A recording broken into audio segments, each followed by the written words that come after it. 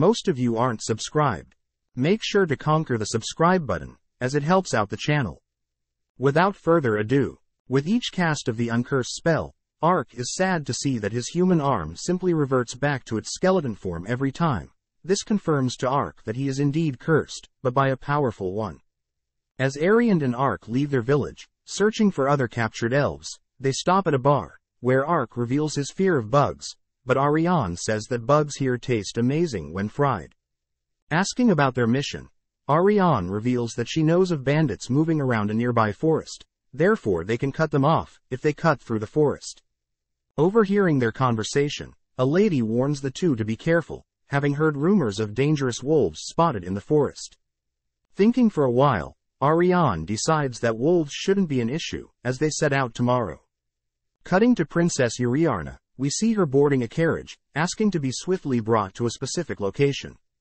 Back with Ark, we see Ariane recount tales of scary stories involving wolves, only to change topics as she mentions her sister's marriage. When Ark offers to bring a gift to her wedding, Ariane gets shy, asking to forget about it. Suddenly Ponta senses something, alerting Ariane and Ark, as they both brace for attacks. Reacting to a wolf pouncing from the bushes, Ark realizes that he has just slashed an illusion. Cutting through several illusions, Ark remembers that haunted wolves are a type of illusion creature that creates illusions of itself to throw off prey. Additionally, the wolves hunt in packs, making them very dangerous, as they are quite intelligent with how they hunt. Seeing Ariane shoot a projectile at an illusion, Ark gets worried when several wolves sneak up from behind, but Ariane conjures several earth spikes, impaling the single wolf and destroying its illusions. Looking around, Ark manages to spot the leader of the pact, having multiple tails. Relocating behind the wolf, Ark realizes the creature has a red band around its leg, attempting to slice at it but the wolf dodges. Allowing the wolf to move behind Ark, Ark catches the wolf off guard, casting a spell to displace it, only to cleave away the red band. Free, the leader howls, calling for its followers to retreat, all whilst Ark watches them retreat back into the forest. Regrouping with Ark, Ariane asks if it was Ark who scared the wolves off, but stops as she notices the red band, suddenly dispersing, leaving no trace of it. Telling Ariane about the basilisk with a similar band, the two begin wondering the reason for the creatures having the band. But Ariane changes the topic, as she wants to make a present out of the wolf she killed, as a wedding gift for her sister. Cutting to Princess Uriarna and her attendant, the princess is seen anxious of traveling, as she was given the task of meeting special people, by her father. Knowing that Dakares is involved with the slave trade, and Sect's thirst for the throne, she can't help but wonder what the two are thinking. Suddenly the carriage shakes violently, as we cut back to Ark. Watching as Ariane preps the wolves to be gifted, Ark thinks about combat ability, as someone with powerful tools, weapons and skills will be useless, if their battle sense is non-existent. Wondering if he should ask Ariane to train him, Ponta suddenly gets up, running into the forest. Chasing after Ponta, Ark asks that Ariane wait here, as he follows after Ponta. Back with the princess, we see her and her attendant hear attackers make their way to the carriage, knowing that she must protect the princess.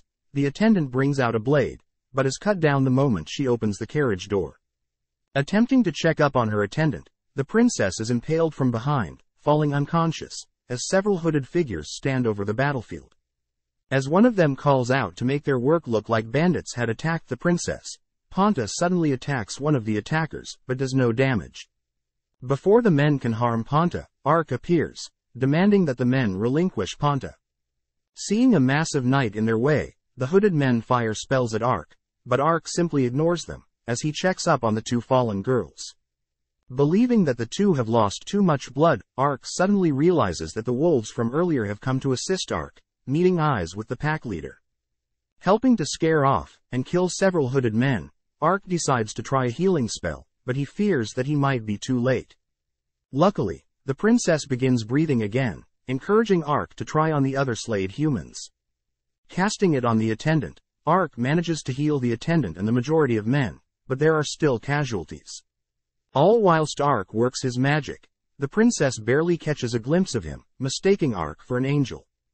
Being woken up by her attendant, the princess assesses the situation realizing that she wasn't dreaming and had indeed been healed by a mysterious figure. Realizing that some of her men have fallen, and that their equipment have been damaged, the princess realizes that she has been given a second chance. Standing firm, the princess rallies her men, stating that they must not falter, immediately resuming their mission, as they carry on to their desired location. As Ark watches the princess spring into action, he begins to wonder if intervening was the right thing to do, asking Ponta for advice. Returning to Ariane, we see she's extracted the tails of the wolf, allowing the two to continue to their destination. Having arrived in town, the two head to some commotion that they heard, seeing three boys picking on a single girl. Before Ark can intervene, Ariane holds him back, as the girl sends one of the boys flying, only to beat up the rest. Wanting to mind their own business, the girl suddenly looks in their direction, greeting Ark, as Ark recognizes her as the ninja that gave him intel about some captured elves. Flashing back, the ninja is apparently going around, looking for beast people who have been captured too.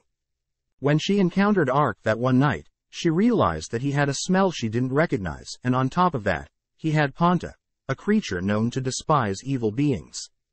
Commending Ark for being able to rescue the elves, Ariane wonders who this girl is, which Ark tells her the ninja helped him locate the elves. Introducing himself, Ark learns that the ninja's name is Chiome, and she reminds Ark of shinobis in the game he used to play. Relocating to somewhere more secluded, Ark and Ariane formally introduce themselves, as Chiome wonders how Ark knew she was a ninja, as that is a secret only known to her village. Making up a lie, Ark says that where he came from, ninjas were a common thing, which makes Chiome think that Ark is related to the Great Founders. Explaining, the great founders were beings meant to have existed 600 years ago, but are long gone. Believing that the founders could have been other humans transported to this world, Ark watches as Ariane questions Chiome's reason for killing the men that night. Seeing Chiome stiffen up, Ark deduces that Chiome is looking for beast people captured, similar to how elves are being captured. As Chiome confirms Ark's suspicions, she asks if Ark could assist her in recapturing some captured beast people but Ark states that he's currently contracted by Ariane. Asking for Ariane's opinion, Ariane learns that Chiome is very similar to her, having been trained at a young age to fight and protect their own kind. Knowing that it would be good to help others, Ariane agrees to help, as Chiome states that she has valuable information in return. Cutting to Dakares, we see him grow frustrated, learning that the wolves in the forest he was controlling had stopped following his orders, and as a result he wasn't able to kill off Uriarna. Unable to pinpoint her location, Dakares learns from his attendant that Uriarna will most likely be able to meet with the elves, and that his life is possibly in danger. Immediately heading out, Dakares heads out, all whilst his attendant suspiciously watches from afar. Back with Ark, he begins asking about the founder that founded the ninjas in this world, learning that the founder Hanzo was the one who established the ninja organization, and that he was human. Now without a single doubt, Ark knows that Hanzo was originally Japanese, growing jealous as Hanzo was able to have his legacy remembered, even after 600 years. Making it to an edge, Chiome shows them Etzit, the largest slave stronghold in the capital, housing all types of slaves. Wanting to attack the stronghold tonight, Chiome grips her fist, as she knows that she can't save everyone. Wondering why, Ariane and Ark learn that Chiome and her accomplices intend to simultaneously attack other slave factories, making Etzit a huge distraction, and ensuring that the other smaller slave facilities will be destroyed for good. Hearing Chiome's resolve, Ark and Ariane offer to help, but Chiome denies this, not wanting them to die, but Ark reveals his ability to teleport. Impressing Chiome, Chiome reveals that Hanzo had a similar ability, beginning to think about how it may be possible to save everyone, if they put it to good use. Immediately running off, Chiome goes to inform her accomplices, as Ark and Ariane wonder what they should do to pass time. Heading to a bar, Ark and Ponta share a meal with Ariane, devouring the food, noting the unique flavors and food combinations. Explaining that all sorts of food exist here in the capital, Ariane offers Ark some mysterious skewered meat, which Ark notes their delicious taste. Happy to hear that, Ariane tells Ark that the meat is of an insect, which surprises Ark, having never expected it. Finishing up, Ark tells Ariane he must do one last thing, heading into the forest. Donning a mask, Ark shows off his brilliance, not wanting to stand out, but Ariane says that his big stature already separates him from the rest. Offering Ariane a mask, Ariane rejects the offer, letting out her true thoughts. Noting Ark's creepy look, she asks Ark if he was scammed, but doesn't believe so, only to see that Ponta doesn't like the mask either. Apologizing for being late, Chiom brings a friend Gomon, who originates from the same place as Chiom, and has a large body frame. Recognizing Gomon's name, Ark learns that Chiom and Gomon are not their real names. Remembering lore about ninjas in the game he played, Ark is able to deduce their real names, along with the other ninjas he has yet to meet. Suddenly Gomon gets up in Ark's face, sizing him up, as the two begin to test each other's strength, only to leave it as a draw. With the clouds in the sky, covering the moonlight, Chiom begins the mission. Seeing her comrades in place, Chiom says that Ariane and her will attack the rear, all whilst Ark and Gomon draw their attention from the front. Just like that, the mission begins. As the two men head towards the entrance, they draw the attention of the knights on duty, demanding that Ark and Gomon leave. Ignoring the knight's warning, Gomon casts an earth protection spell, only for Gomon and Ark to charge into the entrance of the stronghold, easily breaking through. Having drawn the attention of the knights on duty, Ark silences the knights insulting his friend, as Gomon continues to fortify his body, taking little to no damage. Advancing forwards, Ark declares that he will not stop until he tears the stronghold open, checking if Gomon is on board with his plan. Thinking of ways to draw more attention, Ark begins casting an earth spell, scaring the knights, as such a strong figure is also able to wield magic. Laughing maniacally, Ark hedges Gomon on, prompting Gomon to follow up with an earth spell of his own, several spikes that displace the knights. As the two get fired up, they accidentally fuse their magic together, causing their earth spike spell to bleed across the stronghold. Luckily, this allows the girls to sneak in from behind, with no issues. Learning that Etzit Market and other slave markets are being attacked, Prince Dakares orders for reinforcement, wondering why such a thing is happening now of all times. Knowing that Ark and Gomon have drawn all attention from the guards, Chiom and Ariane stop at a door, easily lock-picking it, as they venture deeper into the stronghold. At the same time, other ninjas begin their mission. Allowing several guards to pass, Chiom and Ariane run through the hallways, but Ponta alerts the two, as several guards approach. Conjuring her ninjutsu, Chiom slaughters the men, but this only draws more attention. Stepping up, Ariane ignites her blade, incinerating the men, as they continue deeper down the hallways. Having fought their way down spiral stairs, they finally reach the cells, where Chiom announces to the captives that she is here to rescue everyone. Setting them free, Chiom orders the beast people to help set others free, else they're to help fight. Seeing several guards funneling down the stairs, Ariane dashes forward to hold them off, as Chiom continues to free everyone. Back on the surface, due to Ark's and Gomon's outrageous magic, they are both buried under rubble, but Ark is seen digging himself free. Checking on Gomon, Ark is impressed, as Gomon had fortified his body, preventing any injuries. Surveying the area, they both agree that their job here is done, meeting up with the others. Learning that Ariane and Chiom have managed to free all the slaves underground, and have placed them in a safe place, they reason that they should sweep the grounds, in case there are other beast people locked up. Asking Ark to help the girls, Gomon holds his current position, in case of any emergencies. Fighting their way to the highest point of the stronghold, they realize there is a hidden passage, which luckily has other beast people locked up. Happy to free countless others, Chiom halts at a certain cage, as she realizes that she was too late for some people. Seeing Chiom in pain at the loss of several lives, Ark is forced to remind Chiom of their current mission.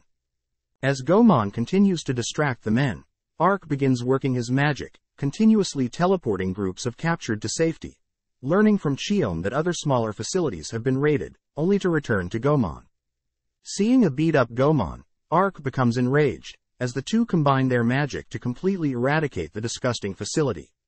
From afar, the two girls stand in amazement, seeing the aftermath of their raid, only to realize that Ark and Gomon have returned, with all the corpses of the deceased beast people. Setting their bodies ablaze, the gang watches as the spirits of the fallen dance in the night sky, happy to be free, all whilst Chiom apologizes for being too late, and that she will get stronger. Cutting to Dakares, we see him throw a tantrum, awaiting news on the slave facilities. As he attempts to head to check on the outcome of battle, Dakares is suddenly killed by his attendant, allowing Sect to enter the room. As the attendant hands Sect jewelry belonging to Uriarna, Sect states that this will be enough to pin Uriarna's disappearance on Dakares, guaranteeing Sect is handed the throne. Confirming that her people have been successful on their ends of the mission, Chiom thanks Ariane and Ark, only for Gomon to begin wrestling Ark. As the two complement each other, Chiom and Ariane both set their sights on growing stronger, as the four watch the sun rise on a new day. As the four travel through a canal, Chiom states that she'll be heading to the hidden ninja village, but first she'll give them the information they had asked for. Following Princess Uriarna, we see her ecstatic to see her sister, jumping into her arms, as her sister is grateful that Uriarna is alive. But Uriarna becomes shocked, as she learns that Dakares was killed, having been found out to be the one that attempted to murder her. Realizing that Sect is now king, Uriarna grows suspicious, as everything had worked out in Sect's favor. As her older sister wants to announce Uriarna's survival, Uriarna states that her survival should be kept a secret for now, as it may prove useful in the future, wanting to see how Sect will act when he's king, and when he learns that Uriarna is still alive. Parting ways with Chiom and Gomon, Ariane reports what she has been up to, to the elders, as Ark and Ariane make their way to the next location. Apparently, they must head to the Holy Empire of Revlon, which Ark notices Ariane has a stern demeanor after hearing that name. Listening in on a conversation between the Emperor of Revlon and his informer, the Emperor is pleased to hear that Princess Uriarna is reported dead. But the red bands that he had provided had little to no use, as Dakares is now dead, speculating if a mysterious assailant is thwarting their plans. Thanks for watching. Subscribe, like and comment.